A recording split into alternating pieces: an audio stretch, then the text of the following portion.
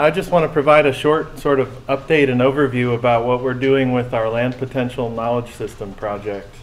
Um, this 2014 has been the first of uh, the first year of a five-year project. A lot of what I'll show is work that's been done um, pretty much since almost exactly a year ago, I guess, when, when Adam arrived at the Jornada, um, and then I arrived here in February.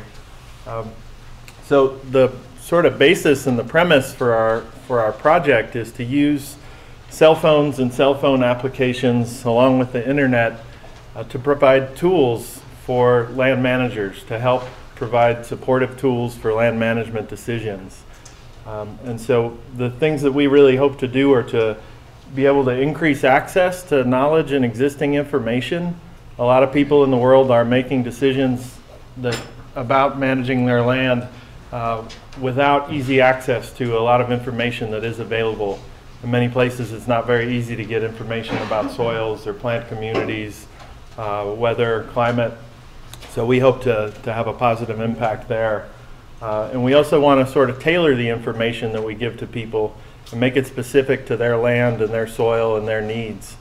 Um, and finally, as the project moves forward, uh, we hope to connect people who are managing similar types of lands uh, with the idea that they will then be able to share their individual knowledge uh, about their management successes and failures with one another. And so the model that we're working with um, is the idea that we can gather information um, from our users via cell phone applications, that they can be in the field and sort of upload data with a phone um, and that we can capture that data uh, in servers and in, and in the cloud of, of the internet um, and process it and provide them with meaningful information right back to their phone. Um, and one of the critical issues that we want to deal with um, is soil management and soil variability. So the photo there on this slide shows you know two different soils that are approximately 150 meters from one another uh, in Namibia. And so the local, local knowledge there suggests that, that there's a darker soil, and that darker soil is good for cropping uh, and resilient to drought. And that this other soil is a lighter soil, and that's not good for cropping, and it's not very resilient to drought. And so this information exists locally, but um, you know this is sort of a broader issue that a, that a lot of people in this building work on, which is that the maps and the information that we have about soil are not really detailed enough to provide um, people with, with management level information at the, at the scale of a farm or a site. Um, so what we're hoping is that we can get technology to work um, well enough that we can provide that, that level of, and scale of information. And so where we're at right now with this model here is that we, you know, we have applications that we can collect data from the field and we can capture that information in our cloud servers and then we can make predictions about the potential of the productivity or degradation and erosion risk for someone's soil. Um, and then in the future, we hope that our system will get sophisticated enough that based on what a user provides for us, we can then ask them more additional specific questions about their site and about what they're doing, uh, and ultimately provide them with some management options that might be suitable for their landscape. So our core sort of cell phone application, our, our LAND PKS application, um, really has come a long way. Adam has led the development of this. Um, a user essentially goes through a list of screens, a series of screens to, to characterize their site. We call it site characterization. So they provide information about the land cover, about the slope, about the shape of the slope, uh, and then we ask them to uh, sort of carefully dig a hole in, in depth increments and make simple field observations about the soil at each of those depth increments and to enter that all into the app. Um, and so some things that we've tried to do are to use a lot of images within the application. A lot of the screens are image focused so that someone doesn't need to, to read English uh, to use the application.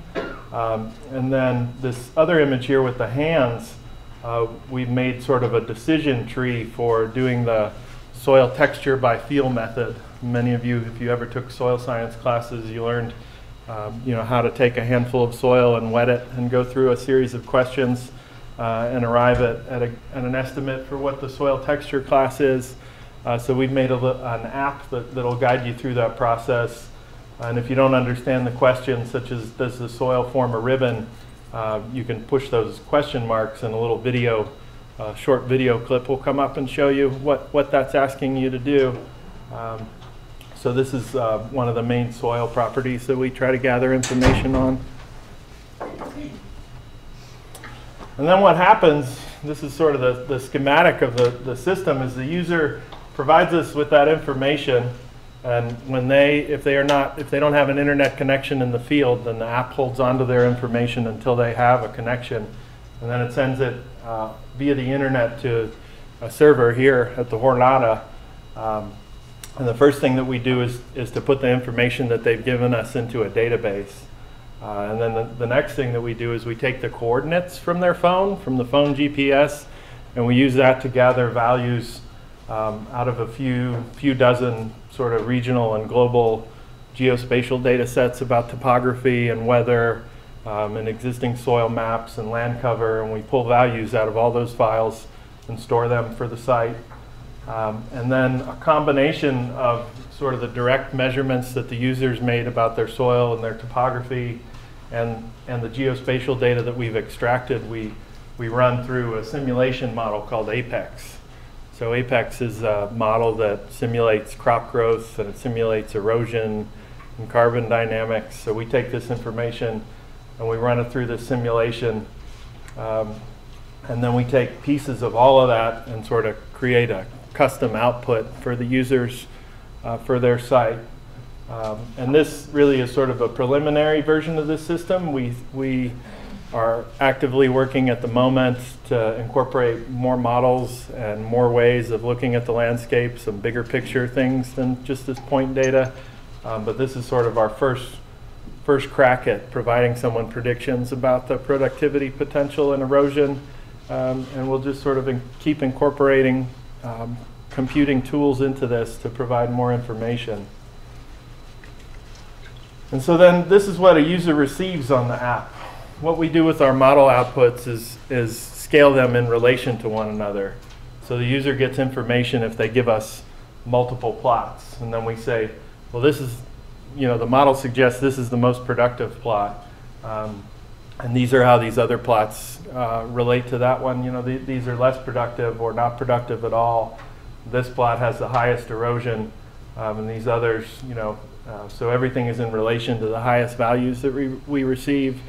Um, and a couple of reasons for that. I mean, number one is just that we don't want to um, be telling people through this means that we think that they can grow five tons of maize on a site or something like that. That uh, feels irresponsible to us. Um, and secondly, we've gotten a lot of positive feedback that people sort of like this metric of comparison. Um, so really that's what we're working on at the moment is if you give us multiple sites, we can make a comparison about them for productivity or erosion. And then you can also look on your outputs and have a map of, of everywhere that you've used the application uh, and what the numeric results that you got for each of those points was. And so we've had two pilot projects this year where we've been um, testing this in the field. Uh, the funding that we have is we have a mandate to work in semi-arid rangelands in sub-Saharan Africa. So we've been testing the app in uh, rangelands in Kenya and Namibia. Um, and in both cases, it's the landscapes look very similar to the landscape here. So we're sort of in similar landscapes to begin with.